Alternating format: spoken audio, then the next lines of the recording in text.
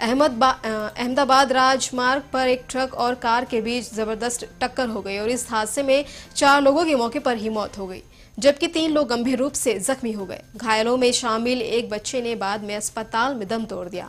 हादसे के बाद राजमार्ग पर लंबा जाम लग गया। मौके पर पहुँची पुलिस ने दुर्घटनाग्रस्त वाहनों को कड़ी मशक्कत के बाद वहाँ से हटवाकर जाम खुलवाया। मृतकों की अभी तक पहचान नहीं हो सकी लेकिन बताया जा रहा है कि ये सभी गुजरात के बड़ौदा के रहने वाले थे।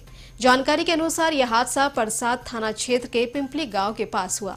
तेज़ी गति से आ रही गुजरात नंबर की एक वैगन आर कार आगे चले रह, आ रहे ट्रक में जा फंसी और हादसे में कार पूरी तरह से चकनाचूर हो गई और इसमें सवार चार लोगों की मौत हो गई, जबकि तीन अन्य रूप गंभीर रूप से घायल हो गए।